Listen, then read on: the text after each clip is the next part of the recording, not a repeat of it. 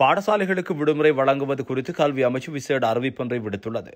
எதிர்வரும் இருபத்தி ஏழாம் திகதி முதல் ஜூன் மாதம் பன்னிரெண்டாம் திகதி வரை பாடசாலைகளுக்கு விடுமுறை வழங்கப்படும் என கல்வி அமைச்சு அறிவித்துள்ளது.